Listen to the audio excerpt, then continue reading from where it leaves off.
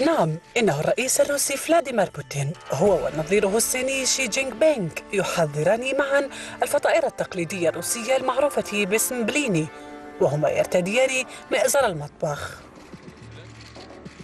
بوتين لم يضيع فرصة إبراز مهارته في الطبخ فعرض على جين بينغ تذوق الفطائر مع المأكولة البحرية الشهية بما في ذلك الكافيار الأحمر والأسود الروسي.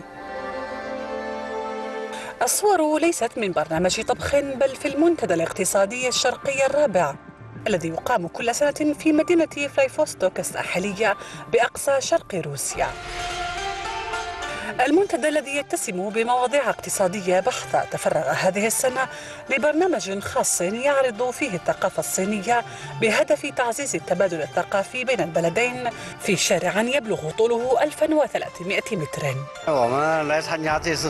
نحن نشارك في الحدث بدعوة من وزارة الثقافة الروسية. أنشأنا فريقا يتكون من 30 شخصا يقف على عرض تراثنا الصيني.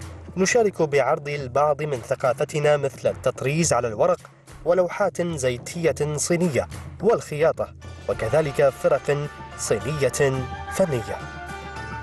هذه الخطوة الفريدة من نوعها التي نظمها المؤتمر تهدف بالأساس لدعم المنطقة الحدودية الروسية الصينية هيولينغ جيانغ الواقعة على بعد 800 متر لتطوير الصناعة والزراعة والصيد. وإجراء تحسين الظروف المعيشية عموما هناك. الصين وروسيا هما أكبر البلدان المجاورة لبعضهما البعض مع مزايا جغرافية فريدة للتعاون. لقد شاركت الصين في أكثر من 30 مشروعا في مناطق التطوير المتقدمة في الشرق الأقصى وإنشاء الميناء الحر مع استثمارات مخطط لها تتجاوز أربعة مليارات دولار أمريكي. ويعد المنتدى الاقتصادي الشرقي السنوي الذي أسسه بوتين في عام 2015 بمثابة منصة هامة للحوار المباشر بين الساسة ومديري الأعمال التنفيذيين. والخبراء من أجل تنمية الشرق الأقصى الروسي والتعاون الاقتصادي.